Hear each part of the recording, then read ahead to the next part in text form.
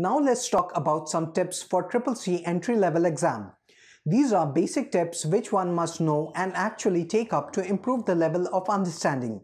The first step towards the success ladder should be removing the demotivation factor from your inner self. This is the most important thing before preparing for exams. If you demotivate yourself, you'll not be able to cope up with your studies further.